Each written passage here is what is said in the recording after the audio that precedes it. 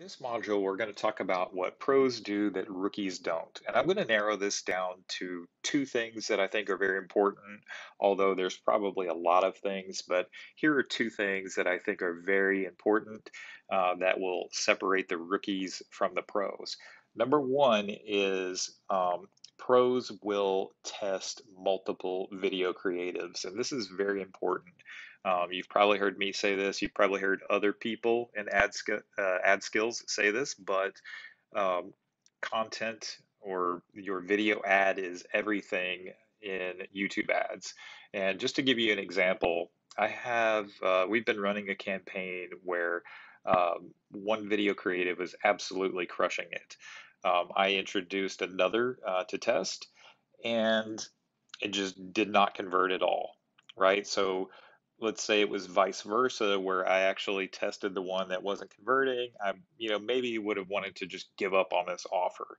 But it just shows you the stark difference of how having the right creative um, means everything. And uh, with me and my team at this point, we have ideas about what makes creative good, but we honestly never really know until we test. I mean, we, we're, we're getting pretty keen at picking up on signals or our, our opinions are getting a little more accurate.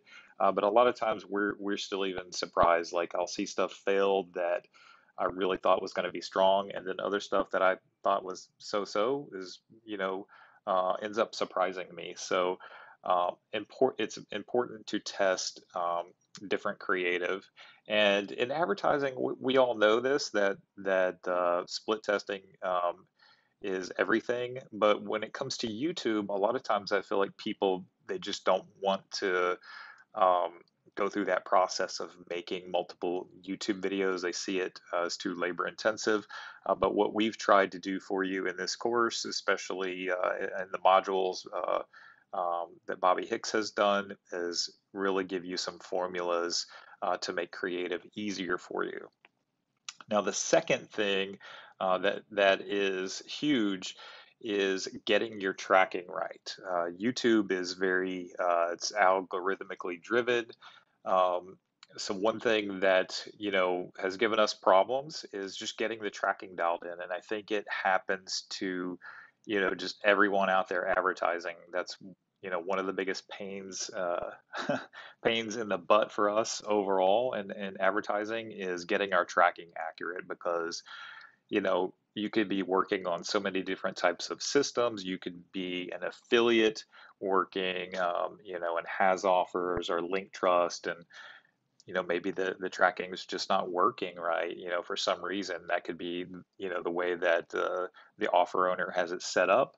Uh, we've encountered that um, you know it's uh, you know could be your own offer and you know javascript a lot of times doesn't fire due to cookie blockers.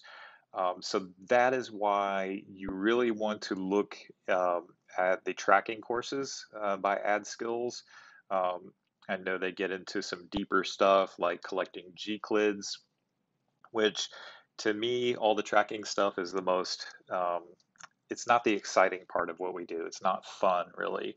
Um, but what can happen in Google, though, or really any, uh, you know, heavily uh, algorithmic platform like Google or Facebook, is that imagine your your tracking is off by let's say 30%, and that that is very common.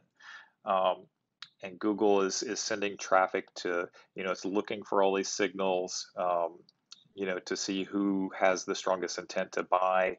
Um, it's trying to get the ads in front of those people, but um, if your pixel doesn't fire, uh, you know maybe Google found they have found some signals that they think oh this is strong buying intent, uh, but then if your pixel's not firing, that person buys from you, but yet you're telling Google they did not buy. So um, that really hurts the uh, the algo as you try to scale. Uh, we've seen that hurt us, and we've had to kind of go back to the drawing board and uh, do whatever uh, necessary um, to get our tracking dialed in. And a lot of times that involves, you know, doing it the hard way um, as compared to the easy way, like um, you know, capturing Gclids, like uh, you know John Belcher details in his tracking course, and uploading those. versus the easy way of just putting the pixel there. And you know you may decide to live with the tracking di- discrepancy but over the long run it'll kind of catch up with you and really hurt your campaign. So if you want to scale to that next level uh, definitely um, you want to always try to to do everything you can to get your tracking as accurate as possible